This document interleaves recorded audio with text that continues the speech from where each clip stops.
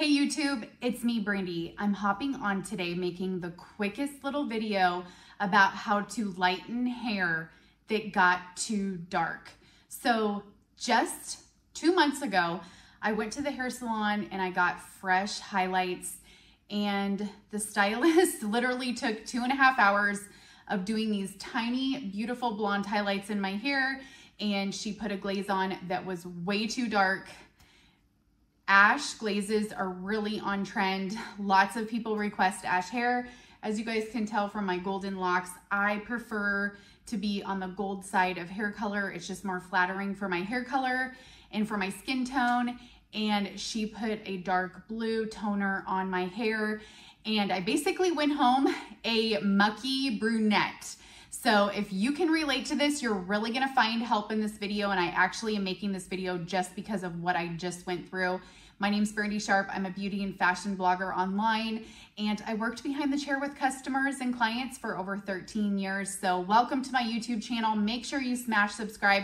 We're gonna fix it right now, you guys. I am just going to share with you what you should do if this happens to you. A lot of people that get their hair too dark panic and they kind of go into this, oh my gosh, my hair is ruined, my hair is ruined.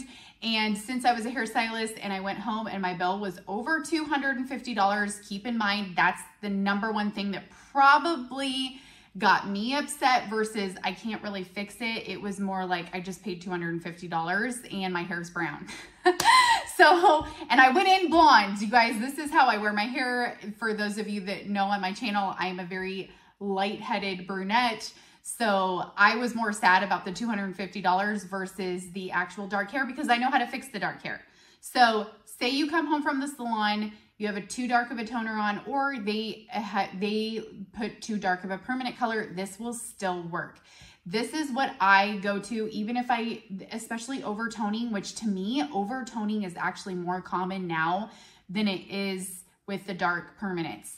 Um, I want you to grab your favorite clarifying shampoo. If you guys have Suave at home, Suave is a really great option because Suave goes in and opens that cuticle wide back open. Um, I recommend you can use any shampoo and I want you to fill the shampoo bowl filled or the bowl, fill it with shampoo. Then I want you to grab a 40 volume if you can. If you have 30 volume, that will work. If you have 20 volume, it will work, especially if you're in an emergency situation use whatever developer, developer you have. 40 volume just goes in and opens everything right back up. Your, the hair color was set into the hair follicle. So the higher the volume, the more it's going to open. So I did use a 40 volume because that's what I personally use. And the 40 volume just quickly opens everything up. You are going to mix the 40 volume in with the shampoo with a scoop of lightener. If you guys don't have a professional lightener, you guys can run up to the grocery store. Get a little highlighting kit from your grocery store, from the Dollar General.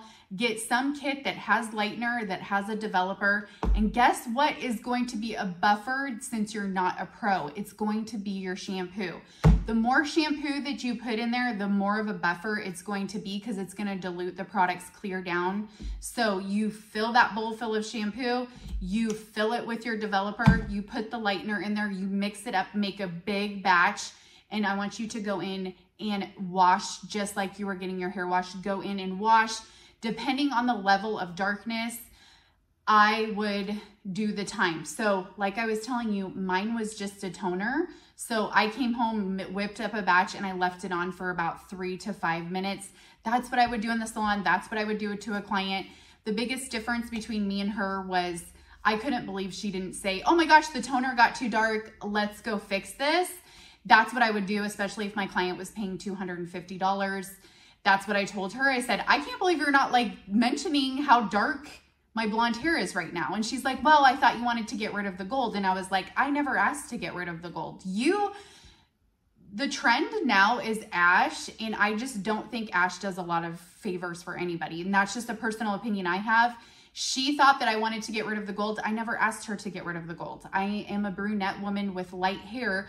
Therefore, the gold tones are very natural in my hair ash tones on women who are over 35, they're gonna give the gray effect. And it's like, I don't need the, I don't want the gray effect. I want the light effect, the golden shimmery youthful effect.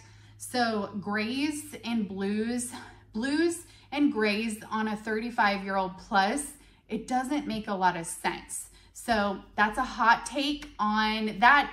This is the emergency situation that I'm helping you get out of. Shampoo it, leave it in based on how dark it got whether it's permanent or not, you may have to redo the batches several times.